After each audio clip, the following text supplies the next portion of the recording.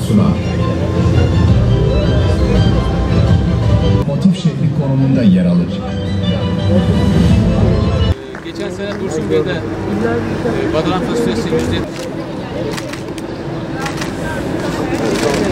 Ben Balya Dört Yol Köyü'nden Rasim Öztaş. Gayet güzel bir uygulama. İnşallah devamı gelir yani. 12 dönüm falan ekiyoruz. Geçen yıl çok memnun olduk. Çok iyiydi. Verimi de güzeldi ama bu sene kısmet ne olur bilemeyiz tabii. Çok teşekkür ederiz kendisine. Çok Allah razı olsun. Ahmet Bulcal. Düşüneyim yazıldım 10 dönüm ağacıyım. Geçen sene çok randımanlıydı. Bizim burası daha kaliteli, yüksek. Gelen çok randımanlı. Yani tadını, her şeyini, verimi de yüksek. Balıkesir Belediyesi'ne her şeye çok teşekkür ediyoruz. Başka ne diyelim. Sağ olsunlar, var olsunlar. Ee, ismim Güral Güven. Ee, Balya'nın Çarmık Mahallesi'nde ikamet ediyorum.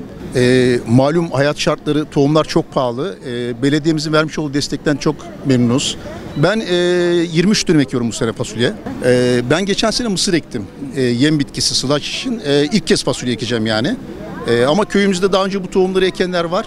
Yani arkadaşlardan da gerekli teknik bilgiler aldık. Başkanımıza Yücel Bey'e çok teşekkür ediyoruz verdiği desteklerden dolayı. Bizler üreteceğiz ki insanlarımız yiyecek yani. Balıkesir Balya ilçemizdeyiz. Balıkesir Büyükşehir Belediyesi olarak Balya ilçemize badalan fasulye dağıtımı yaptık.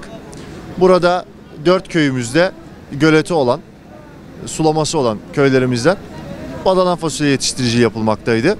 Bu fasulyenin yaygınlaştırılması amaçlı geçen sene Dursun Bey'de yapmış olduğumuz projenin bir örneğini Balya'da gerçekleştirdik. Ee, 1375 kilogram tohum dağıttık 24 yetiştiricimize. Yaklaşık da 200 dönümlük bir alanı kaplayacak şekilde bir tohum dağıtımı gerçekleştirdik. Çok değerli ve lezzetli bir ürün. Ee, o yüzden biz de Balıkesir Büyükşehir Belediyesi olarak bu ürünlerimizi desteklemek amaçlı çiftçimizin her daim yanındayız.